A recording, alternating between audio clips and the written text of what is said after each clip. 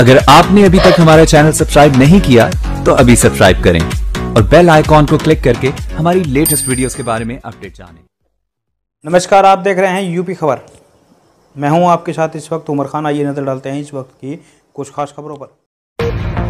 बरेली थाना क्योंलड़िया से आपको बताते चले पुलिस द्वारा कस्बा क्योंलड़िया में उपस्थित सभी महिला, लड़कियों और व्यक्तियों को मिशन शक्ति के बारे में बताया गया और साइबर अपराध और महत्वपूर्ण मोबाइल नंबरों के बारे में बताया गया। तथा गाँव के जो लोग अपराध में लिप्त रहे हैं, उनके परिवार वालों को भी अपराध करने से क्या क्या नुकसान होते हैं और भविष्य में क्या असर पड़ता है, उसके बारे में जानकारी दी गई है।